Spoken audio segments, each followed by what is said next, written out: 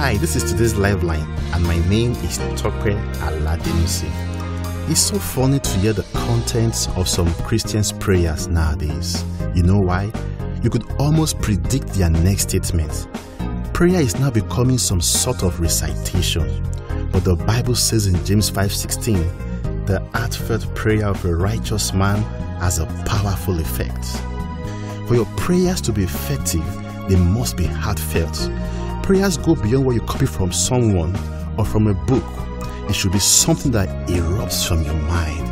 If prayer is mindless, then it is meaningless. Five minutes of mindful prayer is better than 5,000 hours of mindless prayer. I encourage you that when you pray, you only say what you mean and you mean whatever you say. For more messages, visit today'slifeline.com.